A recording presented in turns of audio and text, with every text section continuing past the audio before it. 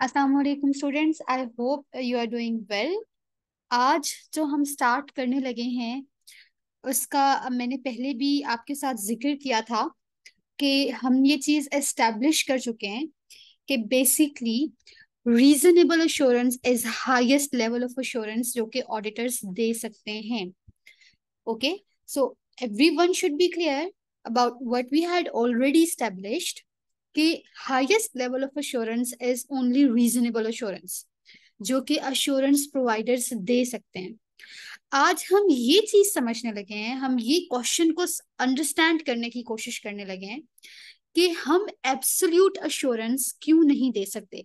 External auditors absolute assurance यानी 100 percent assurance क्यों नहीं दे सकता? uh, इसका मतलब ये है कि हम ये क्यों लिखते हैं कि in our opinion comma financial statement present true and fair view of business in all material respect हम ये क्यों नहीं लिखते कि जस्ट ये लिख दें financial statements are correct so basically होता ये कि we are highest paid professionals all over the world billions of dollars of fee is paid to big three और बिग फोर फॉर्म्स लेकिन फिर भी जो हम सबसे ज़्यादा लेवल ऑफ़ अश्योरेंस देते हैं that is only the reasonable assurance हम सिर्फ़ रीजनेबली अश्योर्ड हो सकते हैं कि हाँ भाई फाइनेंशियल स्टेटमेंट्स करेक्ट है, वो भी हमारे ओपिनियन में in our opinion opinion change भी हो सकता है पर्सन टू पर्सन तो why not absolute assurance so this is the question that we are going to understand today देखो ना, आप इस बात को सोचो कि आप पहले सीए या एसीसीए करते हैं देन फिर आप एक बड़ी ऑडिट फर्म में जाके तीन साल मुसलसल काम करते हैं अंडर पेड भी होते हैं ओवरवर्क भी करते हैं।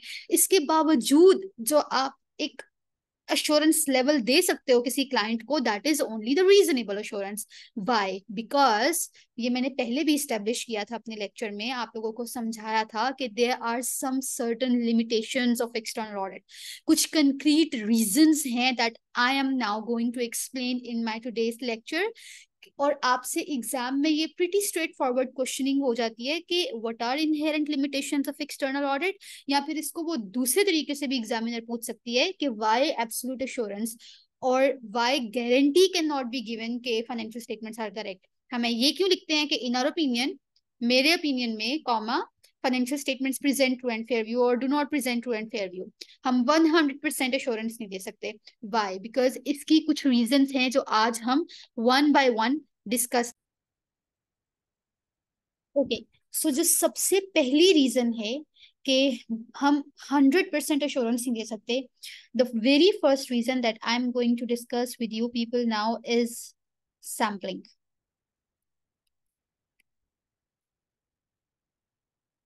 बड़े ध्यान से आपने इस चीज़ को समझना है कि देखें ऑडिट में हम सारी की सारी ट्रांजैक्शंस को चेक नहीं करते। हम सारी ट्रांजैक्शंस को टेस्ट नहीं कर रहे होते। सब सब ट्रांजैक्शंस को चेक नहीं कर रहे होते। फॉर एग्जांपल अगर मैं एक रेवेन्यू का लेजर लेती हूँ there is revenue ledger revenue का एक लेजर है। और एक लेजर में जितनी नंबर ऑफ़ ट्रांजेक्शन होंगी, उसे हम ऑडिट की टर्मिनोलॉजी में कहते हैं कि ये हमारी टोटल पॉपुलेशन है। सो फॉर एग्ज़ाम्पल अगर मैंने रेवेन्यू का लेजर सिलेक्ट किया है और उसमें अगर लेट से वन थाउज़ेंड ट्रांजेक्शन हैं तो मेरे इस लेजर की पॉपुलेशन क्या है? मेरे इस लेजर की पॉपुलेशन है वन थाउज़ेंड ठीक है? When I say the word population it means के लेजर में टोटल नंबर ऑफ़ ट्रांजेक्शन कितने हैं?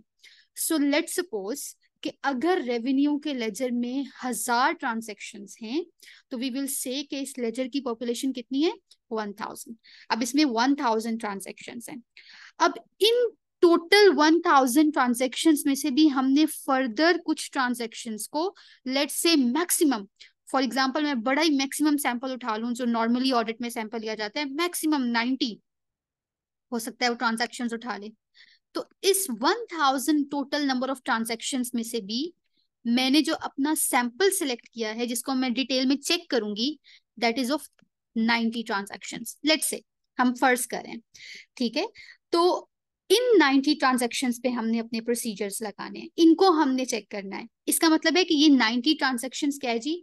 हमारा सैंपल सो बेसिकली हमने पूरी पॉपुलेशन की डिटेल में चेकिंग नहीं करनी। इसकी हम इस इन सब वन थाउज़ेंड ट्रांजेक्शन की हम डिटेल में चेकिंग नहीं करें। हम इस पॉपुलेशन में से बेसिकली सैंपल को एक्सट्रैक्ट करें और उस सैंपल की डिटेल में चेकिंग करें। और इसकी जब हम डिटेल में चेकिंग करेंगे और चेकिंग करने के बाद हम बताएँगे, जो हम अपना ओपिनियन देंगे, जो हम बताएँगे कि हाँ भाई, हमारा रेवेन्यू सही तरीके से रिकॉर्ड हुआ हुआ है या नहीं हुआ हुआ, हम सैंपल को टेस्ट करेंगे, लेकिन हम अपनी, अपना ओपिनियन इस पूरी ट्रांजेक्शन पे, इस पूरी पॉपुलेशन पे, इस पूरे लेजर पे देंगे। ठीक है? सो हमने हमेशा सैंपल को टेस्ट करना है, लेकिन हमने अपना ओपिनियन लेजर पे देना है। हमने हमेशा सैंपल बेस्ड टेस्टिंग करनी है, लेकिन हमने अपना ओपिनियन फाइनेंशियल स्टेटमेंट्स पे देना है। ये बिल्कुल ऐसी है, जैसे फॉर एग्जांपल ये जस्ट एक समझाने के लिए एग्जांपल है कि there is there is a cake और आप उस, आपने अगर उसका टेस्ट बताना है कैसा है तो आप उसका जस्ट वन पीस लेते हो, ठीक है? और उस पीस को टेस्ट करके आप बताते हो कि केक अच्छा है या नहीं। सो so बेसिकली आप पूरा केक खा के नहीं बताओगे। आप उसका एक सैंपल एक छोटा सा पीस लेके चेक करोगे और अपना अप, आ, अपनी जो राय है अपना जो ओपिनियन है वो पूरे केक पे दे रहे होगे। बिल्कुल इस तरीके से हमारे पास जितने भी लेजर्स आ, आ जाएँगे और उन लेजर्स में जितनी भी पॉपुलेशन होंगी इट्स नॉट पॉसिबल कि हम हर लेजर के तमाम ट्रांजेक्शन को डिटेल में चेक करें। इट्स नॉट प्रैक्टिकल इवन तो हमने हमेशा सैंपल बेस्ड टेस्टिंग करनी होती है। हाँ ये इंपॉर्टेंट है कि हमें ये ख्याल रखना चाहिए कि हम एक लेजर में से जो सैंपल निकाल रहे हैं, वो सैंपल उस पॉपुलेशन को रिप्रेजेंट कर रहा हो उस, वो सैंपल में कोई किसी तरह की एक्सेप्शन ना हो, ठीक है? वो सैंपल एक ट्रूली रिप्रेजेंटेटिव हो उस तमाम पॉपुलेशन का, ताकि जब हम उसको डिटेल में चेक करें तो हम बता सके, हम अपना ओपिनियन उस पूरे लेजर के ऊपर दे सके, ना कि सिर्फ़ हमने सैंपल के बारे में बताना है ठीक है? सो so, अब आप मुझे खुद बताओ कि अगर आपने सैंपल बेस्ड टेस्टिंग की है तो क्या आप एब्सोल्यूट अश्योरेंस दे सकते हो उन ट्रांजेक्शन के बारे में जो आपने सैंपल में चेक नहीं किए? टोटल ट्रांजेक्शन तो वन थाउज़ेंड थी ना? वन थाउज़ेंड में से आप नाइनटी ट्रांजेक्शन को चेक कर चुके हो। नाइनटी के अलावा किसी ट्रांजेक्शन में क्या कोई एरर या प्रॉब्लम नहीं हो सकता? देर इज़ अ चांस हो सकता है। So this is the reason because हम सैंपल बेस्ड वर्क करते हैं ऑडिट में। So this is not possible कि एक ऑडिटर इवन ऑडिट कर ले, क्योंकि उसे पता है कि उसने सैंपल बेस्ड चेकिंग करनी है सैंपल सिलेक्ट करके टेस्टिंग करनी है तो वो कभी भी वन हंड्रेड परसेंट अश्योरेंस नहीं दे सकता।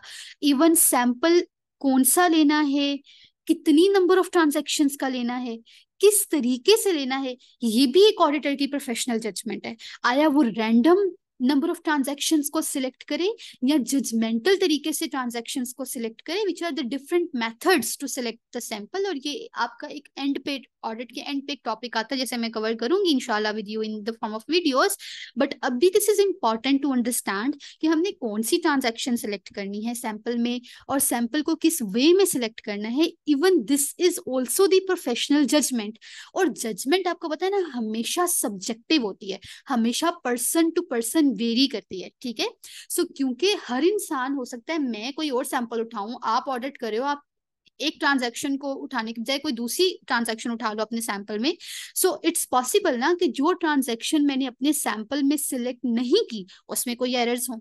So sampling is the first reason कि हम कभी भी एक्सटर्नल ऑडिट में 100 परसेंट इंश्योरेंस नहीं देते बिकॉज़ हम सारी ट्रांजेक्शन को डिटेल में टेस्ट नहीं कर रहे हैं। हम सैंपल बेस्ड वर्किंग परफॉर्म कर how can we give 100 percent और एब्सोल्यूट और गारंटी अपने ऑडिट के काम में कि हाँ भाई, ये बिल्कुल ठीक है। हाँ फाइनेंशियल स्टेटमेंट्स करेक्ट है हम ऐसे नहीं कह सकते, इसलिए हमें एड ऑन करना पड़ता है कि in our opinion comma financial statements present this view ठीक है?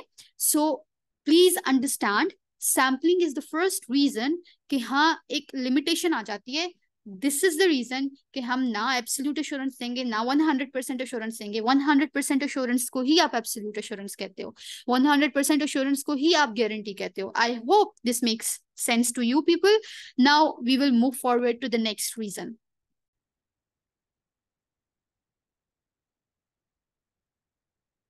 Okay. Our next reason जिसकी बेसिस पे हमने एब्सोल्यूट अश्योरेंस नहीं देनी वन हंड्रेड परसेंट अश्योरेंस नहीं देनी, वो रीजन है मटीरियलिटी ये वर्ड आप आगे ऑडिट में बहुत ज़्यादा पढ़ेंगे और इस वर्ड का आपको पता होना चाहिए। कभी आपने वर्ड सुना हो कि ये चीज़ मटेरियल है? इसका क्या मतलब होता है? What does material word mean अगर हम कहते हैं कि for example revenue is material तो इसका क्या मतलब है? सोचें जरा। मटीरियल मीन्स अभी आप इसको इस तरह समझें कि if I say the word material it means कि दिस इज़ इंपॉर्टेंट किसी चीज़ को अगर मैं मटेरियल बोल रही हूँ इट मीन्स कि वो इंपॉर्टेंट है, वो सिग्निफिकेंट है। वो इतनी सिग्निफिकेंट है वो इतनी सिग्निफिकेंट है it needs to be checked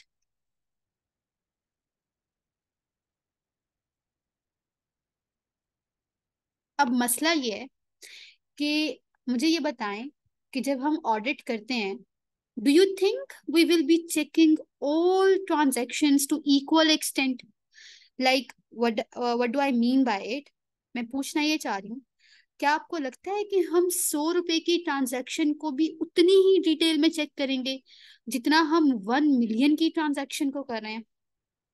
You will say no obviously because one million की ट्रांजेक्शन हमें सिग्निफिकेंट ट्रांजेक्शन लग रही है। हमें ज़्यादा इंपॉर्टेंट सौ की इतनी वर्थ नहीं है जितनी वन मिलियन की है, ठीक है?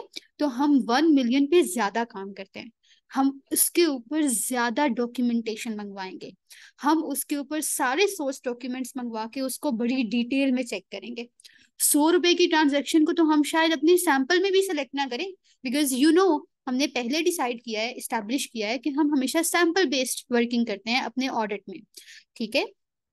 तो सौ रुपए की ट्रांजेक्शन में तो हम कहेंगे कि जाने तो ये वाली ट्रांजेक्शन इसमें अगर गलतियाँ होंगी भी तो टोटल ट्रांजेक्शन सो की है। कितनी ही गलतियाँ हो जाएँगी इसमें ठीक है? लेकिन वन मिलियन की ट्रांजैक्शन इज़ इंपॉर्टेंट अगर वन मिलियन की ट्रांजैक्शन फ्रॉडलेंट ट्रांजैक्शन हुई तो इसकी वजह से बिज़नेस की पोजीशन और परफॉर्मेंस को ऑब्वियसली हो सकता है मैनिपुलेट किया जा रहा हो। सो so, हमेशा याद रखना कि आपने हर चीज़ को किस एस्पेक्ट में देखना है? ऑडिट में आप हर चीज़ को एस, किस एस्पेक्ट में देखोगे? मटीरियलिटी के एस्पेक्ट में देखोगे। हम हमेशा गलतियों को भी इसी तरीके से ट्रीट ट्रीट करेंगे। हम एरर्स को भी इसी वे में देखेंगे। हम उन एरर्स पे बहुत ज़्यादा चीखे मारेंगे ट्राई रेस करेंगे अलार्म बेल रेस करेंगे मैनेजमेंट के पास जाएँगे, उन्हें कहेंगे कि ठीक करें, जो एरर्स सिग्निफिकेंट होंगे, जो एरर्स इंपॉर्टेंट होंगे, जिन एरर्स की बहुत ज़्यादा इंपॉर्टेंस होगी, ठीक है? लेकिन वो मिसस्टेटमेंट्स अच्छा एरर्स के लिए fancy word used in audit is misstatement लेकिन वो मिसस्टेटमेंट्स जो इमटीरियल है, जो मटीरियल नहीं है, जो इंपॉर्टेंट नहीं है, उनको हम इग्नोर कर देते हैं।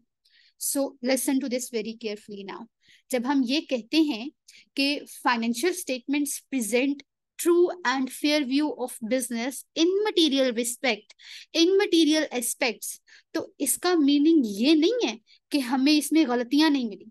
इसका मतलब ये है कि हमें इसमें गलतियाँ तो मिली हैं, लेकिन वो गलतियाँ मटेरियल नहीं थी इमटेरियल थी। इस वजह से हम कह रहे हैं कि financial statements are true and fair and and बच्चों this is exactly the reason कि हम गारंटी नहीं दे सकते। Despite the fact that we say कि financial statements present true and fair view of business we are not saying that we didn't find errors हम अगर ये ओपिनियन इस फॉर्म में दें कि in our opinion financial statements present this this this picture हम ये नहीं कह रहे कि हमें इसमें एरर्स नहीं मिले। इस स्टेटमेंट का हरगिज मतलब ये नहीं है। इस स्टेटमेंट का मतलब ये है कि भाई जब हम ये बात कहते हैं ना कि in our opinion comma financial statements present true and fair view in all material aspects of the business इसका मतलब ये नहीं है कि हमें इसमें कोई एरर्स ही नहीं थे। It doesn't mean that it means कि इसमें एरर्स होंगे लेकिन वो सारे क्या थे? इमटीरियल थे सो हमने उसको इग्नोर कर दिया उन इमटीरियल एरर्स को और हमने अपना ओपिनियन दे दिया। अब देखो बच्चों एरर्स तो थे ना बेशक वो इमटीरियल से तो क्या हम एब्सोल्यूट एश्योरेंस दे सकते हैं? क्या हम जस्ट ये लिख सकते हैं ओपिनियन में ये लिखने की बजाय कि in our opinion financial statements present true and fair view ये लिखने की बजाय हम ये लिख दें कि फाइनेंशियल स्टेटमेंट्स आर करेक्ट ये तो झूठ बात हो जाएगी ये तो गलत हो जाएगा। सो so, हम इस तरह लिख ही नहीं सकते। ठीक है? वो झूठ हो जाएगा। सो so, बेसिकली हमने इग्नोर किए हैं इमटीरियल एरर्स इसलिए हम गारंटी नहीं देते। बिकॉज़ जो चीज़ हो सकता है कि हमारे लिए मटेरियल ना हो वो हो सकता है किसी और के लिए मटेरियल हो ठीक है? बिकॉज़ ऑडिट में बहुत ज़्यादा जजमेंट इज़ इन्वॉल्व अब देखो दोबारा से इस बात को समझो। आपने सैंपल सिलेक्ट किया ये एक ऑडिटर की अपनी जजमेंट थी कि उसने किस तरह सैंपल सिलेक्ट करना है, कौन सी नंबर ऑफ़ ट्रांजेक्शन को सिलेक्ट करना है। फिर ये दोबारा ऑडिटर की जजमेंट है कि उसे उन नंबर ऑफ़ ट्रांजेक्शन में से जो उसने सिलेक्ट की हैं और उसमें मिलने, मिले हैं उसको एरर्स ठीक है? उन एरर्स में से कौन से एरर्स उसको मटेरियल लग रहे हैं और कौन से एरर्स उसको इमटेरियल लग रहे हैं? Obviously after his working but again ये उसकी अपनी प्रोफेशनल जजमेंट है। तो जजमेंट क्योंकि पर्सन टू पर्सन वेरी करती है एंड हम ऑडिट में हर चीज़ अपनी फोकस कराते हैं मटीरियलिटी पे। हम इन मटीरियल चीज़ों पे बॉदर भी नहीं करते। That is the very very important reason इसी वजह से हम ये नहीं कहते कि हम एब्सोल्यूट एश्योरेंस दे देंगे, ना ही हम कोई गारंटी देते हैं, क्योंकि हमें पता है कि हमने सैंपल बेस्ड वर्क किया है, हमें पता है हमने मटीरियलिटी को अपने सामने रख के काम किया है। भाई, हम कह ही नहीं सकते कि फाइनेंशियल स्टेटमेंट्स आर करेक्ट क्योंकि हो सकता है उसमें एरर्स हो, हमने तो इग्नोर किए है ना। So this is the second reason कि we won't give guarantee and we won't give absolute assurance हम हमेशा रीजनेबल अश्योरेंस देंगे, लेकिन हम कभी भी गारंटी नहीं देंगे। Okay the third important reason जिसकी वजह से हमने कभी भी एब्सोल्यूट एश्योरेंस नहीं देनी that is called subjectivity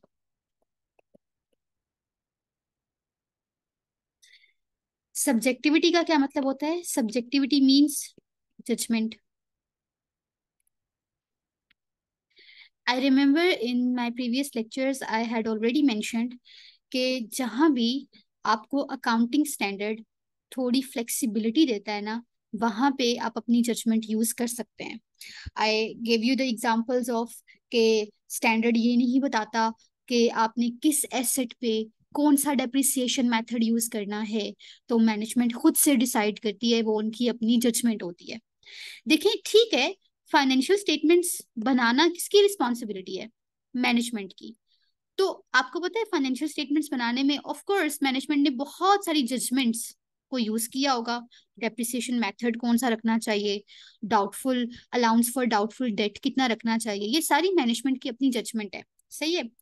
as an auditor सोचो एज एन ऑडिटर आपको मैनेजमेंट की जजमेंट से क्या प्रॉब्लम है? क्या मसला है? भाई, हमें सबसे पहला मसला तो यही है कि आप लोगों को सोचना चाहिए कि ऑडिटर तो मैनेजमेंट को वैसे ही पसंद नहीं करते। We don't like management so we don't like management judgement by the way लेकिन स्पेसिफिक रीजन क्या है? प्रॉब्लम क्या हो सकती है हमें हमें प्रॉब्लम क्या है मैनेजमेंट की जजमेंट से? बिकॉज़ हम ये सोचते हैं कि देयर आर चांसेस कि जो मैनेजमेंट अपनी जजमेंट बनाए, वो बाइस्ड हो सकती है ना? ठीक है? अब हम जनरल प्रिंसिपल पढ़ चुके हैं कि एज एन ऑडिटर हमारी प्रोफेशनल स्केप्टिसिज्म ये कहती है कि हम हर चीज़ को क्वेश्चनिंग माइंड से अप्रोच करें। हम मैनेजमेंट की जजमेंट को भी इस तरीके से चेक करें कि हम, हमने अपने माइंड में रखा हो कि इन्होंने ज़रूर अपनी जजमेंट बाइस्ड की होगी। अच्छा when I say the word biased means favourable इन्होंने फेवरेबल इस तरह की जजमेंट यूज़ की होगी जिससे वो अपनी बिज़नेस की फाइनेंशियल स्टेटमेंट्स को अच्छा अच्छा दिखा सके। ठीक है? सो so, हमें ये शक है कि यहाँ पे मैनेजमेंट की जजमेंट में इनके बाइसनेस के चांसेस ज़्यादा होंगे। सो so, मुझे ये लगता है कि जहाँ जहाँ मैनेजमेंट को लगता है कि अगर वो करेक्ट जजमेंट यूज़ करेगा तो उसकी वजह से हो सकता है उसके बिज़नेस का प्रॉफिट थोड़ा कम हो जाए। तो वो सोचते हैं कि फिर क्यों ना मैं उसी जजमेंट को थोड़ा सा हिला के प्रॉफिट ज़्यादा भी तो कर सकता हूँ। इस जजमेंट को हम कहते हैं बाइस्ड जजमेंट इसकी एग्ज़ाम्पल सुने। फॉर एग्ज़ाम्पल के इसकी एक एग्ज़ाम्पल लेते हैं कि एक मैन्युफैक्चरिंग बिज़नेस है। ठीक है, इसका आप ऑडिट कर रहे हो। जब आपने ऑडिट स्टार्ट किया तो आपको पता लगा कि इस मैन्युफैक्चरिंग बिज़नेस ने ड्यूरिंग द ईयर बहुत ज़्यादा हैवी इन्वेस्टमेंट की है on plant and machinery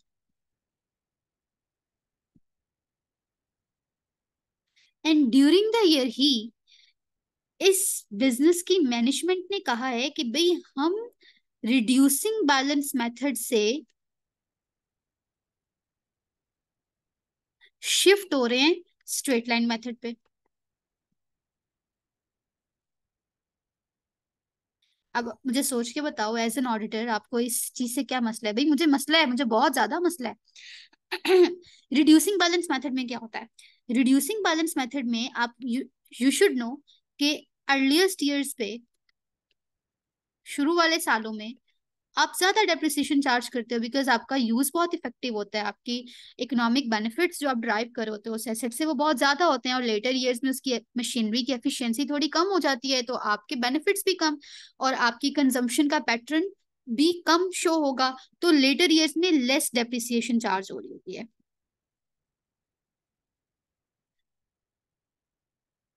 अब मेरी एग्जांपल में मेरे मैन्युफैक्चरिंग बिज़नेस ने इस ड्यूरिंग द ईयर यानी it is the first year जिसमें उन्होंने इन्वेस्टमेंट की है प्लांट एंड मशीनरी में। तो obviously this is the first year तो ज़्यादा डेप्रिसिएशन चार्ज होनी होगी, ज़्यादा एक्सपेंस चार्ज होना होगा।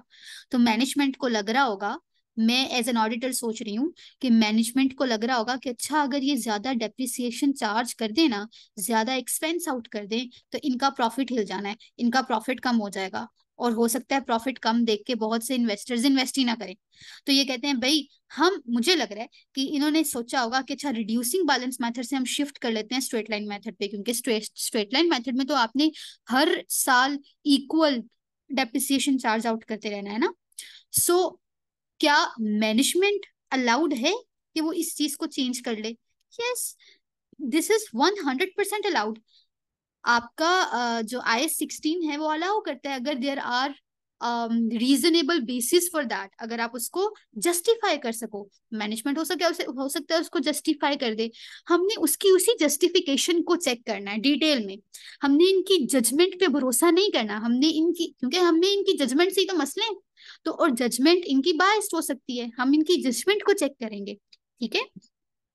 इवन आई सेट कहता है कि ठीक है भाई चेंज कर लो, और सॉरी आइस टेन कहता है कि आप चेंज कर लो और इसका साथ में प्रोस्पेक्टिव इफ़ेक्ट ले आना।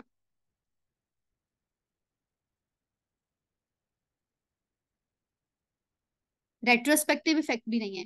पिछले सालों में भी आपने इसको चेंज नहीं करना। आपने जस्ट इसको प्रोस्पेक्टिव इफ़ेक्ट लेके आना है।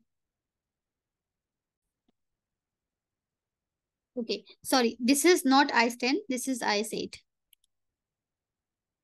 so ISA eight कहता है कि हाँ जी ठीक है आप इसको प्रोस्पेक्टिव इफ़ेक्ट लेके आप ये चेंज लेके आ सकते हैं। And that is the subjectivity एक और आप एग्जांपल कंसीडर करें। लेट से कि इसी मैन्युफैक्चरिंग बिज़नेस ने during the year useful life को चेंज कर दिया है। यूजफुल लाइफ उन्होंने चेंज कर दिया लेट से आ, और ये यूजफुल लाइफ चेंज किए एग्जिस्टिंग एसेट्स पे। लेट से पिछले साल लास्ट ईयर्स में ये लोग डेप्रिसिएशन चार्ज कर रहे थे और वहाँ पे यूजफुल लाइफ रख रहे थे फाइव ईयर्स और इस साल ये चेंज करके इसको यूजफुल लाइफ को लेके जाना चाह रहे हैं टेन ईयर्स पे। अब देखिए यूजफुल लाइफ भी आपका एक एस्टिमेट होता है। मैनेजमेंट का एस्टिमेट होता है कि हर एसेट की यूजफुल लाइफ कितनी होगी, कितनी देर तक वो इकोनॉमिक बेनिफिट जनरेट करते रहेंगे। अगेन मुझे ये लग रहा होगा कि यूजफुल लाइफ इंक्रीज कर देंगे, इनका डेप्रिसिएशन एक्सपेंस कम होना शुरू हो जाएगा और मुझे लग रहा है कि ये अपनी फाइनेंशियल स्टेटमेंट्स को मैनिपुलेट करने की कोशिश कर रहे हैं, यानी अच्छा अच्छा बना के दिखाने की कोशिश कर रहे हैं और अपनी अकाउंटिंग जजमेंट्स को हिला के।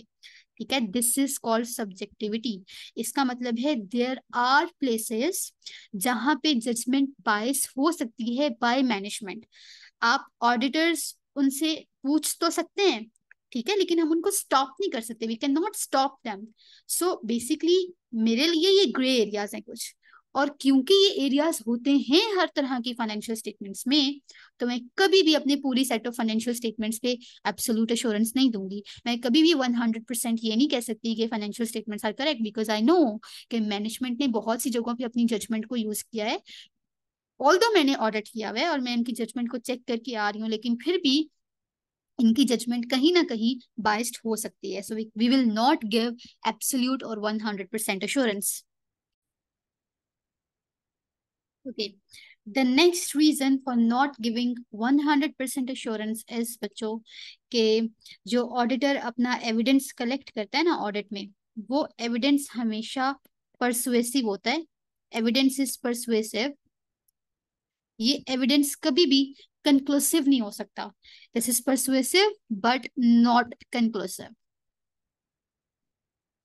इसको आप इस तरह से समझो कि जब लेट से आई एम एन ऑडिटर और जब मैं पेप्सी का ऑडिट करने गई पेप्सिको का ऑडिट करने गई तो लेट से कि मैनेजमेंट ने कहा कि हमारे जो डेप्रिसिएशन फॉर द ईयर है depreciation charge for the year है that is let's say seven million F T Y means for the year management ने कहा कि जो मेरा डेप्रिसिएशन एक्सपेंस आया for the year that is seven million मैंने कहा ऑडिटर ने कहा कि let's say instead of checking this seven million कि ये ठीक है या नहीं लेट्स रिकैलकुलेट इट इसको हम रिकैलकुलेट करके देखते हैं और अगर हमारा भी आंसर सेवन मिलियन आया तो इट मीन्स इन्होंने चार्ज बिल्कुल ठीक किया हुआ है। तो हमने कहा कि भाई ऑडिटर ने क्या डिमांड किया? ऑडिटर ने डिमांड किया कि भाई, आप अपना फिक्स्ड एसेट रजिस्टर दे दें स्केजुअल दे दें, ठीक है? और हमें अपनी पॉलिसी ऑफ़ डेप्रिसिएशन दे दें। फिक्स्ड एसेट स्केजुअल जिसमें सारे एसेट्स आ रहे होंगे, ठीक है? पॉलिसी ऑफ़ डेप्रिसिएशन के हमने कौन सा तरीका यूज़ करके और यूजफुल लाइफ एक्सेट्रा कॉस्ट क्या थी, पिछले साल में कितनी डेप्रिसिएशन चार्ज हो चुकी है, ये सारा फिक्स्ड एसेट स्केजुअल में आ रहा होगा, ठीक है? फिक्स्ड एसेट रजिस्टर में आ रहा होगा। अब ऑडिटर्स ने, मैंने क्या किया? मैंने इन दोनों चीज़ों को यूज़ करके मैंने कैलकुलेट कर ली depreciation charge for the year recalculate कर ली और मेरा आंसर भी आ गया है seven million the question the question is क्या आप इस रिकैलकुलेटेड सेवन मिलियन पे भी गारंटी दे सकते हो? एब्सोल्यूट अश्योरेंस दे सकते हो? आपके जहन में आ रहा होगा कि बहुत बड़ी हद तक। आप हर तरह के, जैसे लेट से कैलकुलेटर वाले एरर को भी लिमिनेट कर दो ह्यूमन एरर को भी लिमिनेट कर दो कि भाई आपने बिल्कुल परफेक्टली रिकैलकुलेट कर लिया। कोई गलती नहीं की रिकैलकुलेट करने में। फिर भी आप इस पे एब्सोल्यूट अश्योरेंस नहीं दे सकते। वाई रीजन क्या वजह है? सोचें इस बात पे। यस रीजन ये है कि बेसिकली ये जो आपको फिक्स्ड एसेट स्केजुअल और पॉलिसी ऑफ़ डेप्रिसिएशन दी है ये किसने दी है मैनेजमेंट ने दिया ना? ये बेसिकली ये वही इंफॉर्मेशन है that is provided by the management information provided by the management तो बेटा, अगर मैनेजमेंट ने इंफॉर्मेशन प्रोवाइड की है ठीक है? तो मैं, हमने हर चीज़ को प्रोफेशनल स्केप्टिसिज्म के अकॉर्डिंगली सोचना है ना? हमने हमेशा क्वेश्चनिंग माइंड से सोचना है। वी विल क्वेश्चन एवरीथिंग हम ये श्योर हो ही नहीं सकते कि जिस इंफॉर्मेशन पे हम कैलकुलेशन कर रहे हैं, बेशक वो कैलकुलेशन हमारा वही आंसर आ रहा है। लेकिन इवन दो कि हमने थोरो चेकिंग भी कर ली होगी उसकी, फिर भी हम श्योर नहीं हो सकते बिकॉज़ हो सकता है जो इन्फॉर्मेशन मैनेजमेंट ने प्रोवाइड की हो, वही मैनिपुलेटेड हो। मैनेजमेंट ने उस इन्फॉर्मेशन को दिया ही हमें इस तरीके से हो कि जब हम इसको रिकैलकुलेट करें तो आंसर ही सेवन मिलियन आए।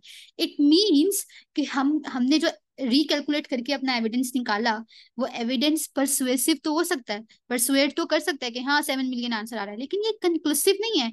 आप इसकी बेसिस पे कभी भी वन हंड्रेड परसेंट गारंटी नहीं देंगे। So this is the this is also the reason कि not give give absolute or 100% assurance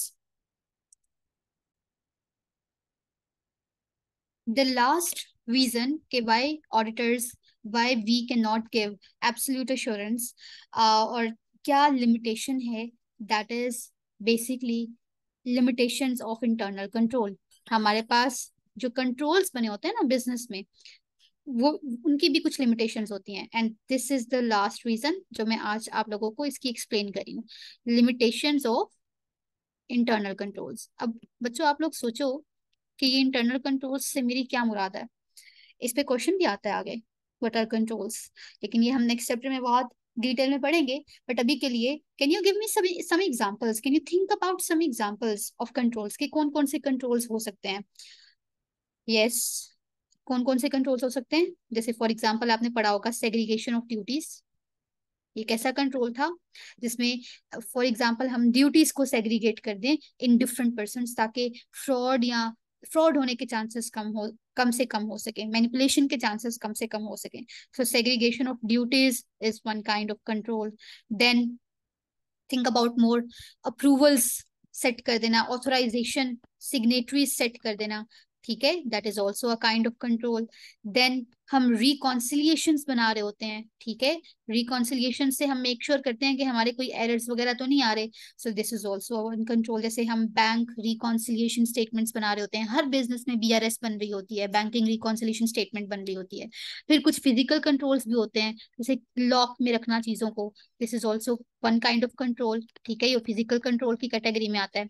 then passwords रखना बैकअप्स रखना, ये भी एक तरह के क्या हैं? कंट्रोल्स हैं। ओके अब ये सारे कंट्रोल्स करते क्या हैं? ये सारे के सारे कंट्रोल्स क्या करते हैं? ये बेसिकली प्रिवेंट करते हैं। होने से रोकते हैं या आप कह लें कि डिटेक्ट करते हैं। And you can say correct करते हैं। किस चीज़ को? एरर्स एंड फ्रॉड्स को। तो मैं फिर किस तरह से कंट्रोल को डिफाइन करूँ? भाई कंट्रोल है क्या? तो मैं किस तरह से डिफाइन करूँगी? आई डिफाइन इट हाउ कि भाई ये मेरी वो पॉलिसीज़ एंड प्रोसीजर्स हैं, ये मेरी वो पॉलिसीज़ एंड प्रोसीजर्स हैं जो मैनेजमेंट बनाती है। So policies and procedures which are made by the management to prevent detect and correct errors and frauds ये हैं आपके कंट्रोल्स आप इस तरह एग्ज़ाम में इसको लिखोगे और अपने नंबर लोगे क्योंकि आपने पेपर में कुछ भी छोड़ के नहीं आना। ठीक है? अच्छा लेट से कि एक ऑर्गेनाइजेशन में उन्होंने एक कंट्रोल बनाया हुआ था सेग्रीगेशन ऑफ़ ड्यूटीज़ का। ठीक है? सेग्रीगेशन ऑफ़ ड्यूटीज़ का एक कंट्रोल है। मुझे बताएँ, क्या कंट्रोल्स परफेक्ट हो सकते हैं? लेट से कि उन्होंने आ, क्या किया हुआ है? हम एक एग्जांपल लेते हैं कि कंट्रोल इज़ के सेवन मिलियन से जो ऊपर की ट्रांजैक्शन है ना उसको अप्रूव करवाना है काउंटर सिग्नेटरी से और वो उन्होंने सेट किए हुए हैं CEO and CFO so let's say आपके जो सिग्नेटरीज हैं वो कहते हैं कि भाई आठ मिलियन अप्रूव करते हैं दोनों मिलके चार मिलियन तुम्हारे चार मिलियन मेरे और बस कोई हम इन्वेस्टमेंट जिस एसेट पे करनी थी वो नहीं करेंगे, अपने पॉकेट में डालेंगे और हो गया फ्रॉड सो बेसिकली जिसने कंट्रोल्स बनाए होते हैं ना, उसके पास उन कंट्रोल्स को ओवरराइड करने का तरीका भी होता है. ठीक है? तो controls can never be perfect आप कभी भी ये नहीं कह सकते कि कंट्रोल्स परफेक्ट हैं. ठीक है? क्योंकि परफेक्ट कंट्रोल होता ही नहीं है. हर कंट्रोल जो भी बनाएगा उसको सरकमवेंट करने का भी कोई ना कोई तरीका होगा उसको ओवरराइड करने का तरीका होगा ठीक है? उसको बाईपास करने का तरीका होगा। सो परफेक्ट कंट्रोल्स नहीं होते हर कंट्रोल की अपनी अपनी कोई ना कोई लिमिटेशंस होती हैं। सो so, इसी वजह से फाइनेंशियल स्टेटमेंट्स में हमेशा एरर्स या फ्रॉड के चांसेस होते हैं। पूरी दुनिया में कोई फाइनेंशियल स्टेटमेंट ऐसी नहीं बन सकती जिसमें आप कहो कि इसमें तो एरर या फ्रॉड का चांस है ही नहीं क्योंकि इसमें कंट्रोल्स परफेक्ट है। बिकॉज़ कंट्रोल्स परफेक्ट होते ही नहीं है। हर कंट्रोल की कुछ ना कुछ लिमिटेशंस होती हैं। जैसे मैंने अभी आपको सेग्रीगेशन ऑफ़ ड्यूटीज़ की एग्ज़ाम्पल दी है ठीक है? ऑथराइजेशन की आप एग्ज़ाम्पल ले लें जिससे आपने अप्रूवल करवाना है वो बंदा भी तो फ्रॉड कर सकता है। रिकॉन्सिलियशन में गलतियाँ हो सकती हैं। सो so, अगर बहुत ही कोई परफेक्ट कंट्रोल्स बनाए हो ना तो उसको हम कहते हैं सोफिस्टिकेटेड इंटरनल कंट्रोल्स उस पर आपका फिर बिज़नेस बिज़नेस का बहुत ज़्यादा पैसा लगता है एफर्ट लगती है टाइम लगता है, लेकिन फिर भी जिस तरह का भी कंट्रोल बना लें, जो कंट्रोल बनाता है, उसके पास उस कंट्रोल को सरकमवेंट करने का तरीका भी होता है। So this is the last reason जिसकी वजह से हम कभी भी ऑडिटर्स कभी भी absolute assurance 100 percent assurance guarantee नहीं देंगे कि भाई ये चीज़ बिल्कुल ठीक है फाइनेंशियल स्टेटमेंट्स करेक्ट है। ऐसा नहीं हो सकता। सो आई एक्सपेक्ट कि आप लोग ये रीजन याद रखें कि why do we say we can only provide reasonable assurance अगर हम एक्सटर्नल ऑडिट परफॉर्म करें किसी भी एंटिटी का।